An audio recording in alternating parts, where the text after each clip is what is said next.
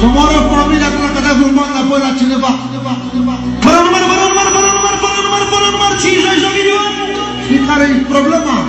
Să mă scuze toate doamnele.